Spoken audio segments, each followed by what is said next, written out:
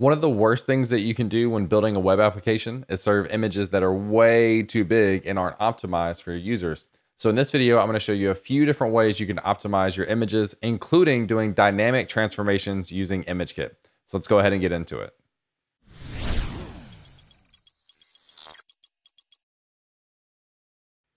What's going on everyone? My name is James Q Quick and I do weekly videos on web development related topics. And in this video, we're specifically going to talk about image optimization and how to make sure that you don't send images to a user or to a browser that are too big. We always want to send basically as small an image as we can for two different reasons. If you try to send back really big images, and we'll see this in a second, it will slow down the experience for the user. So if the browser is trying to load this really big image, it's going to have to take time to do that. Now, the other thing is it's also going to use extra bandwidth for the user. So if they're on their phone and they have maybe not an unlimited amount of data, you don't want to be sending down these really big files because that's going to be data that they're going to have to ultimately pay for.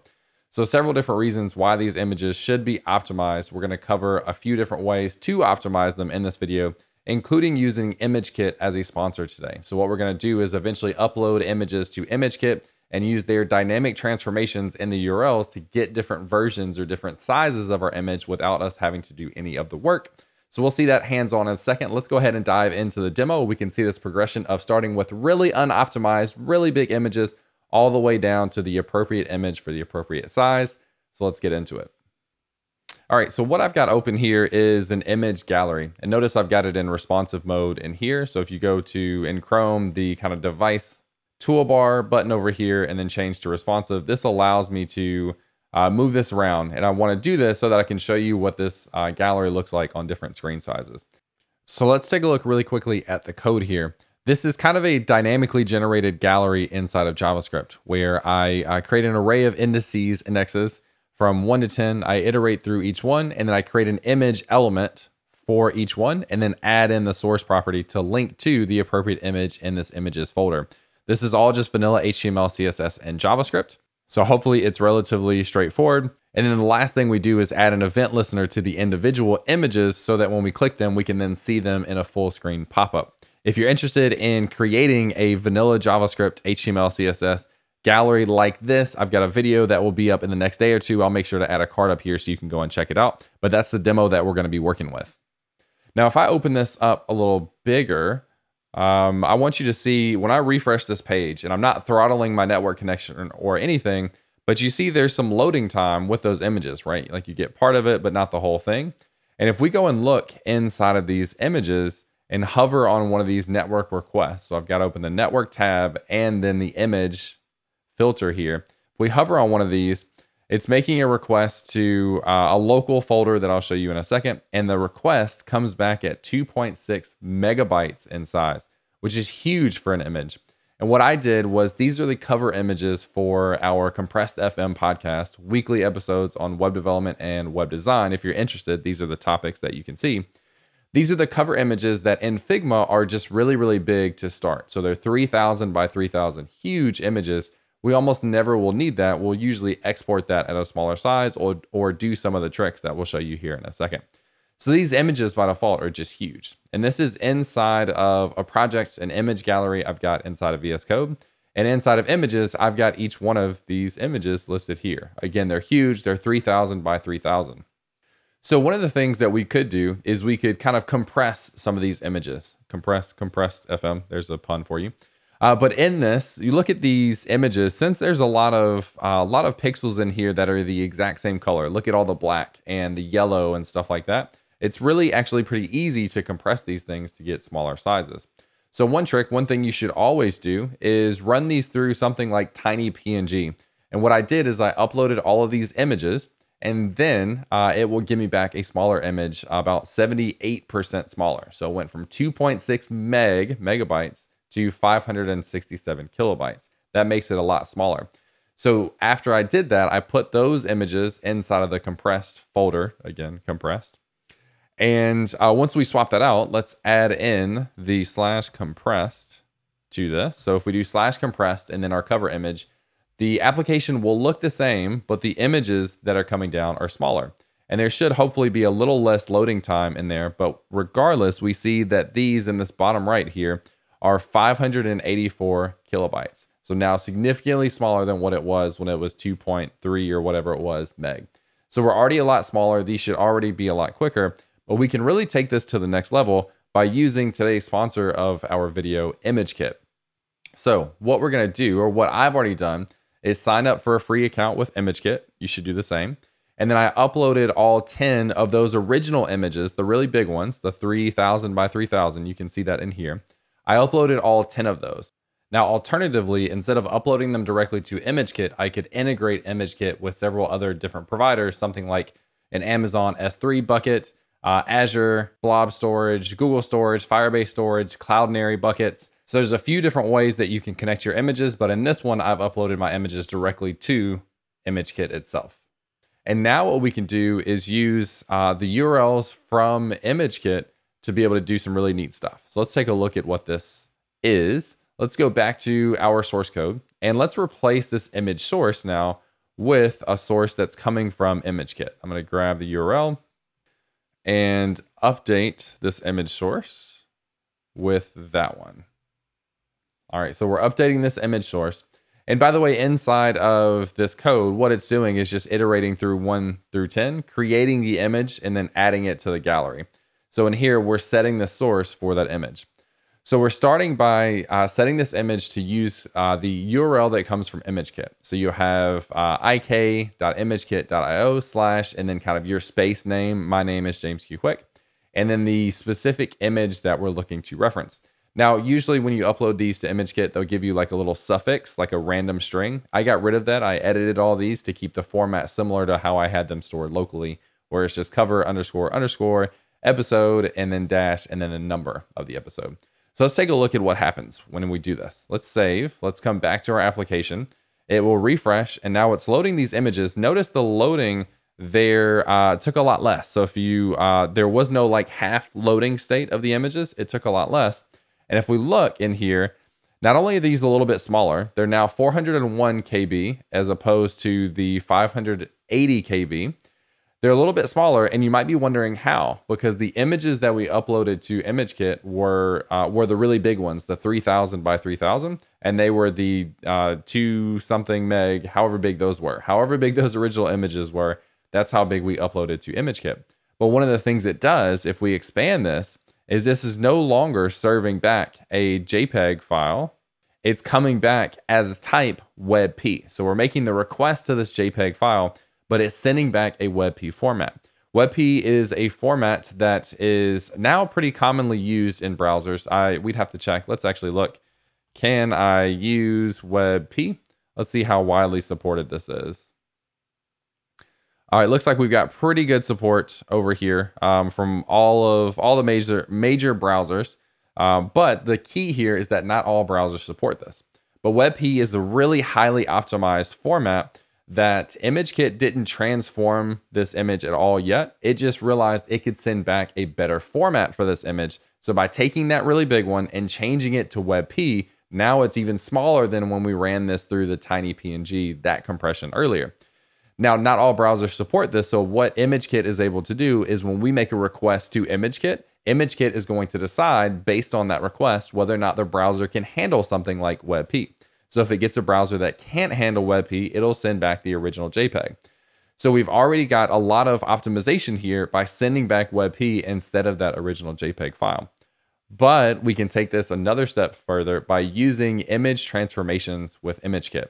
And what this means is you get this dynamic URL or you get a URL that can then be dynamic. And so what we do is we have our URL endpoint. We talked about this with mine as James Q Quick in here.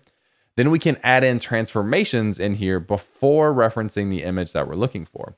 So what we can do is instead of loading the full image, which is 3000 by 3000, we can tell ImageKit, give me a version of this image that is maybe only 600 pixels wide. What ImageKit will do the first time we make that request is it will generate an image, a version of that image that is 600 pixels wide. It will then cache that image and save that image so that subsequent requests can request and get it back faster. So it's kind of creating on demand dynamic images for us that then subsequently are much faster and easier to load. So let's take a look at what this looks like. Inside of this URL, before our episode uh, image here, we can do another slash and we do a TR for transformation. So we're saying this is going to be a transformation. And then what we'll do is we'll use a width of 600 here. So we'll do our TR colon and then width dash 600. So what we're saying is give me the image. It will give me the optimized format of this image, but also we'll go ahead and transform it to a width of 600. So this is really cool. So now let's watch, let's save this and let's refresh again. Let's come back to the application. Let's make sure this refreshes. If we look at these now, we went from what was 405 KB now down to 46 KB. Smaller image, still coming back in WebP format, and basically looks the exact same. If you look at these, you I don't think you could tell a difference in the quality of this image, especially on this size, because we're only displaying it at a max size of, I forget exactly how big these can be, somewhere around 600 as this scales up and down. So because of that, we're getting an optimized image, not only optimized in terms of size by using that transformation, also optimized in terms of format by getting it back in WebP. Again, nothing I had to do. All we had to do was upload these images to ImageKit and then swap out this URL.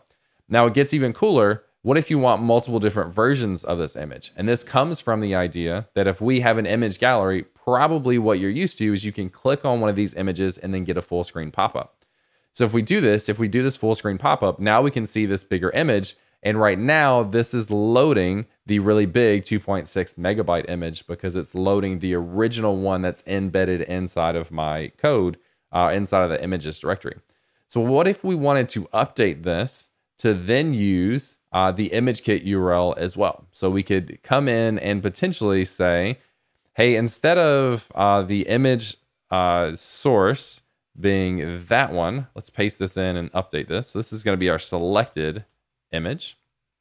All right. And instead of this being 600, let's say we just assume this thing is going to be a little bit bigger. So this is going full screen. So let's go ahead and get just a bigger image here in 800. So now let's save this. Let's refresh. Let's click on one of these to get the detailed image. Now we see this is coming back at 72 kilobytes. Again, significantly smaller than our 2.3 or 2.4 uh, megabytes that it was a second ago.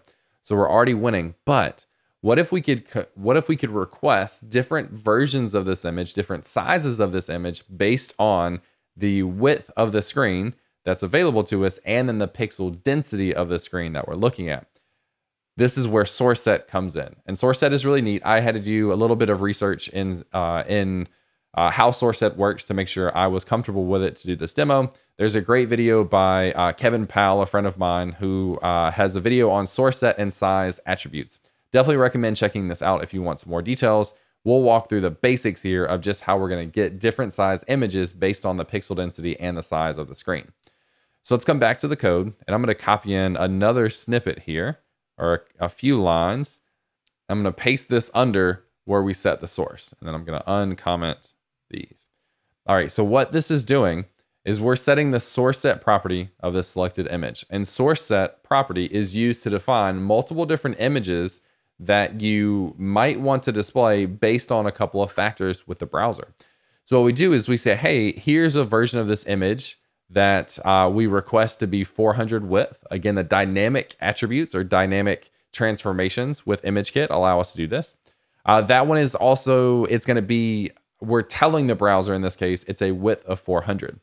Then we have another version that we request the 800 pixel width version from ImageKit. And we tell the browser this is a width of 800. And then you probably get the idea. We have another version that is 1200. And then it display or its width telling the browser is 1200 as well.